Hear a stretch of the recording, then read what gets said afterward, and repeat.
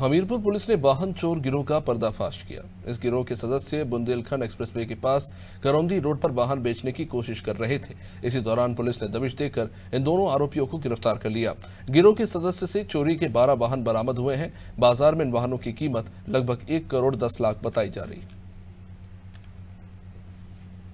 के संबंध में बताना चाहेंगे कि एक मनीष राजपूत, जो थाना क्षेत्र ज़रिया के ग्राम मसगवा का रहने वाला है। ये एक वाहन चोरी के गैंग का संचालन कर रहा है और ये लखनऊ के आसपास अयोध्या या फैजाबाद जनपदों से और उनके आसपास से इसने काफ़ी वाहनों को चुराया और अपने साथियों की मदद से इनको लगातार बेचा था इन्होंने कुछ वाहनों को इकट्ठा किया, जिसमें छः ट्रैक्टर थे और इसमें स्कॉर्पियो, बोलेरो, कुछ कार थी और इन्होंने बुंदेलखंड एक्सप्रेस के बाद करौंदी गाँव में इसको जमा कर रखा था।